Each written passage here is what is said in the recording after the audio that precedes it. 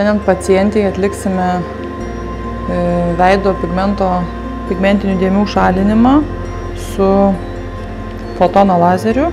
Dabar nusiskausminame su kremu su lidokainu, kad pacientai būtų mažiau diskomforto procedūros metu. Ir paskui atliksime procedūrą. Pacientas turi ateiti pasiruošęs procedūrai su neįdegusia oda, nebuvęs saulėje. Bent jau mėnesį ar du, tai kuo daugiau, to geriau.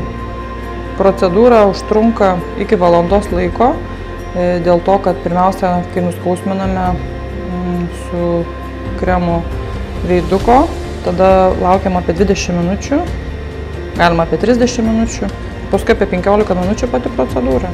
Nu, tai viso iki valandos. Rezultatas matomas, kai pilnai sugyja oda, kai nukrenta šašiukai, tai yra po kokių 3-4 savaičių.